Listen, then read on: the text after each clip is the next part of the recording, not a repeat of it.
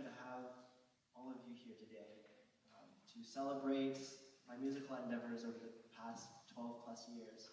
Uh, it's crazy to think that it's been since I was five, studied music since I was five, um, uh, doing piano, voice, and conducting, which is um, all the various things that you'll see tonight. First, we'll start off with some voice, um, and then after some musical selections uh, that I will sing, we'll move on to conducting, and then have a brief intermission, um, and then I will play some piano after the intermission, and then finally we'll end with um, And also, we will brief, uh, get started very briefly. The first song on uh, the program is Nel cor più non mi sento, which is from the opera La Molinara, which translates uh, to the Miller Woman. Uh, and the context of the song within the opera is about a, the, a Miller woman who is desired by both this tenor and um, the notary, whose name is Pistofolo, who I will be singing as. Um, and the song is uh, in a very comedic fashion about how a, a guy want, uh, is very longing for, for this woman. And a few notable words that you should listen for are uh, pitiki, which means pinches, uh, mastichi, which is bites, uh, pungichi, which is uh, prick, and um, uh, what is the other one? The other one is um, stuzzichi, which is teases. Thanks, Cody. uh, and we'll begin briefly.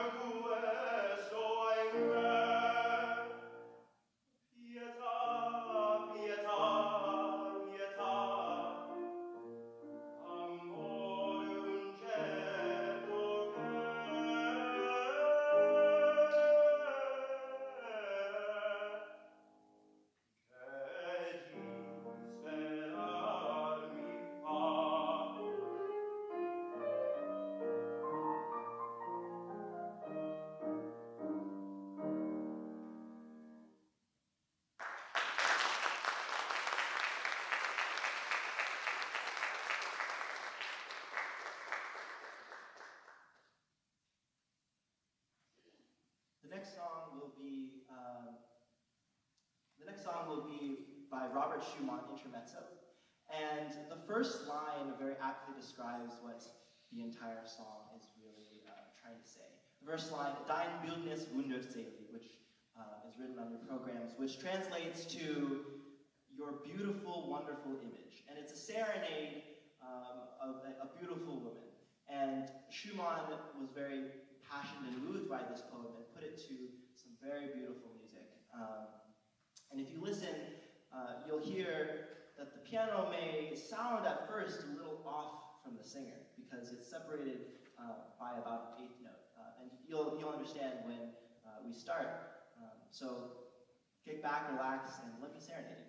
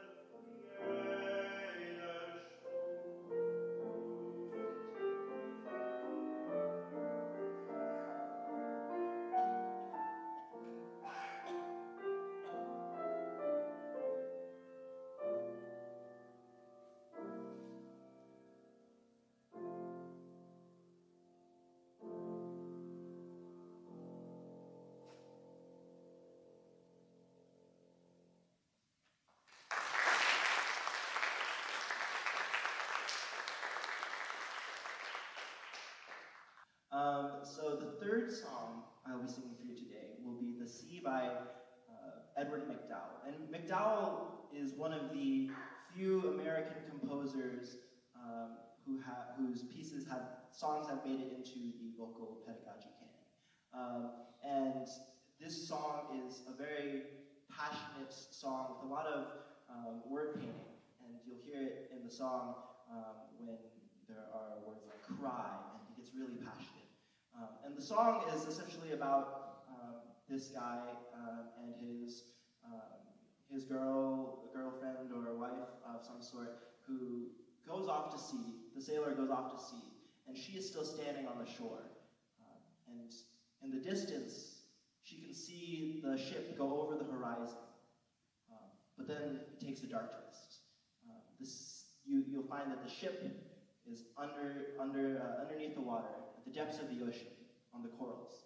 Uh, and only we know this. And she's still crying from uh, being separated from him, but little does she know that she'll never see him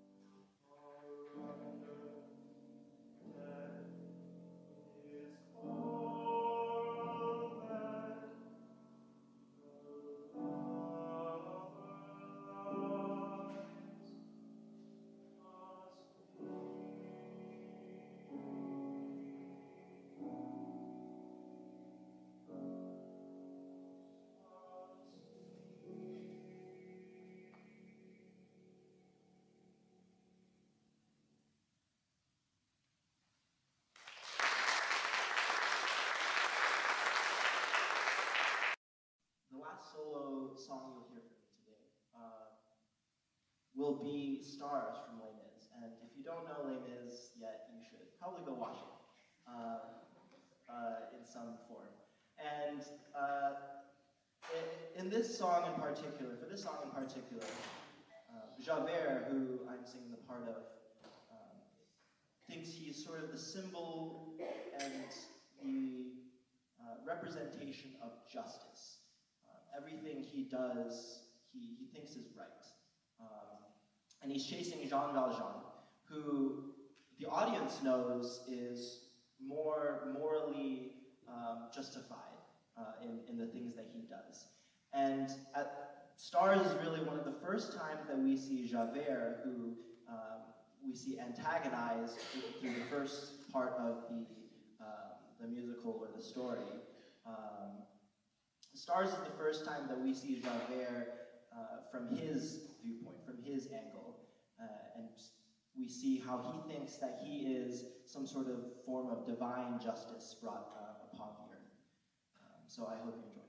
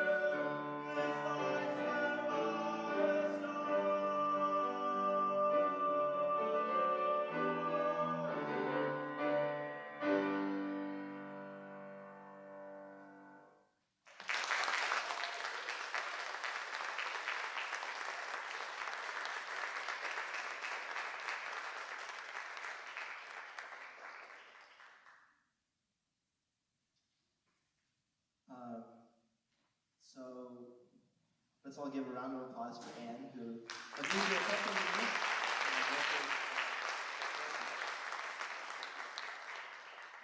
next will be the Creighton Prep Concert Band uh, coming to perform Maslanka's On This Bright Morning, which we were fortunately able to receive a Superior Plus at Districts for, which is a, a one rating from all three judges.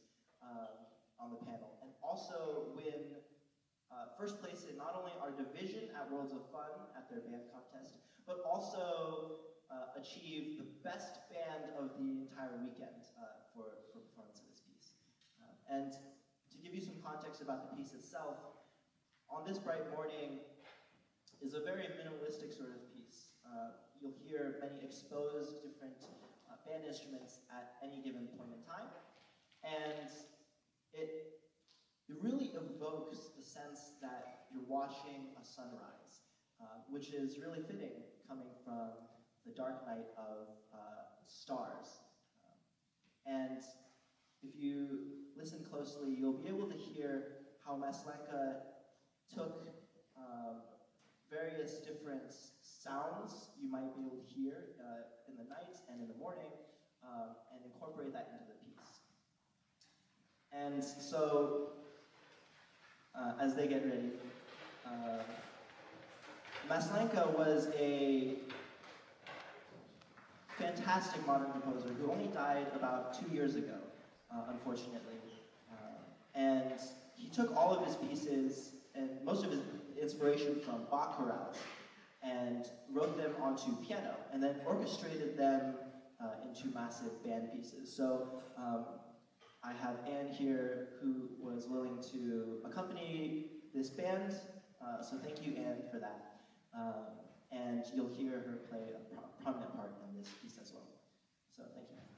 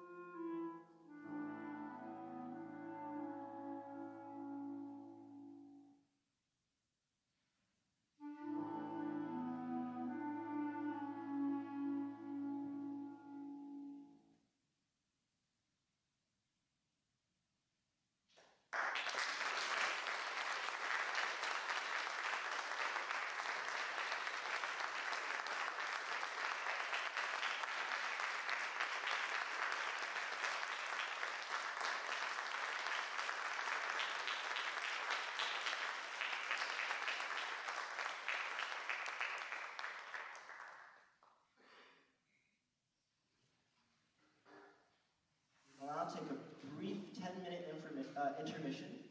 Um, and please give my uh, piano teacher, Ann Madison, another big round of applause for accompanying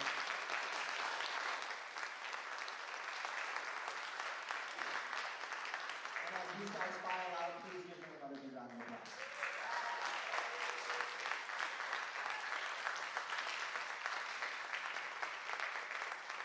See you back here in 10 minutes.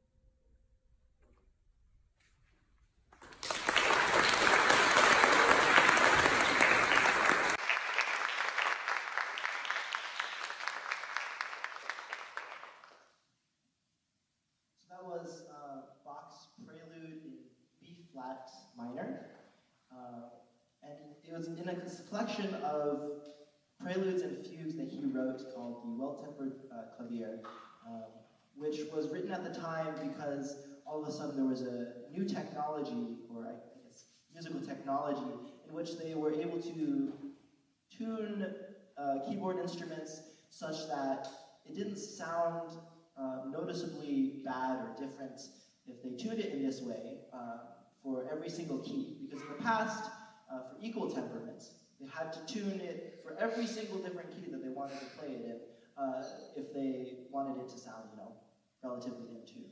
So well temperament, Bach went crazy and decided to write um, a prelude and, uh, and a fugue in, in all 24 keys um, on the keyboard, uh, and he said it was for the purpose um, of, to train young musicians and also for more advanced musicians to play in their pastimes. Any, anyone know, that knows uh, Bach's music um, knows that that's ridiculous.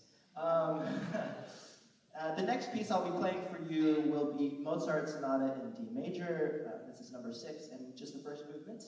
Um, and this piece Mozart wrote when he was in uh, Munich in 1774 to 1775, uh, when he was premiering one of his Ital many Italian operas. Um, and if you listen closely, you'll be able to hear the influence that writing Italian opera had on um, this piece of music.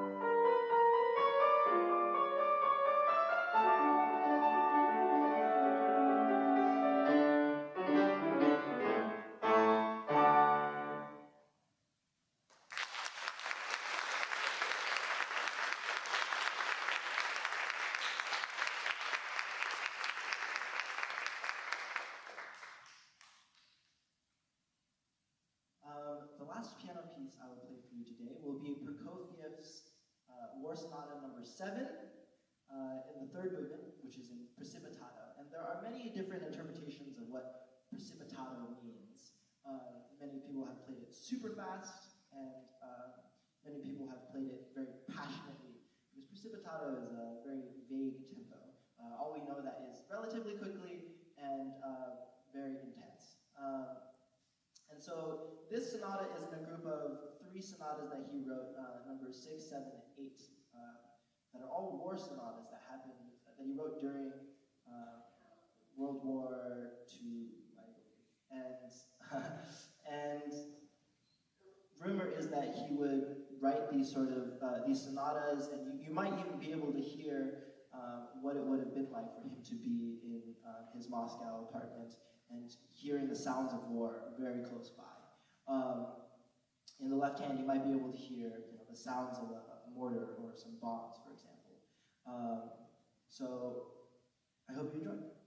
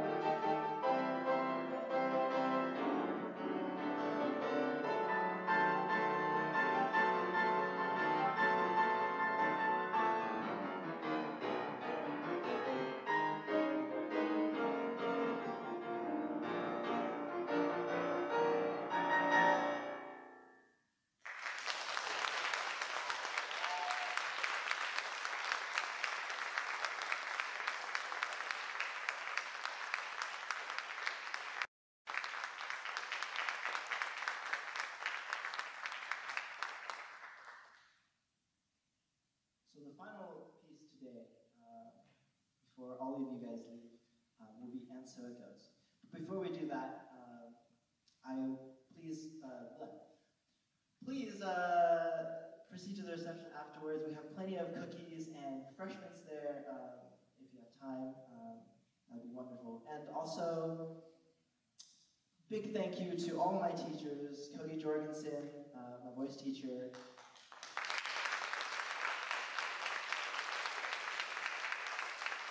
They've been with me for six plus years. Yeah, that sounds about right. and um, Ken, aha, Ken Mines, my conducting teacher, who I started just this year. Uh, and unfortunately, I wish I could have. Start, uh, I wish I started much earlier. Um, um, so please give him a round.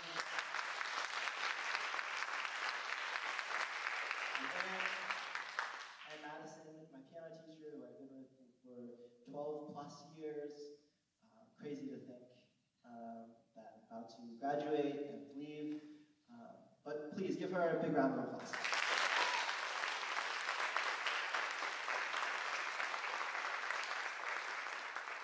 Thank you to everyone else who helped make this possible, my stage crew, um, these performers, the, the band performers, um, Diane Owens, um, who helped manage all these things, uh, Ross Tremaine, Norm Hawley, who graciously let us use this harpsichord, uh, my parents, my brother, who made it today. Um, so thank you all for coming, and I hope you enjoy, and so it goes.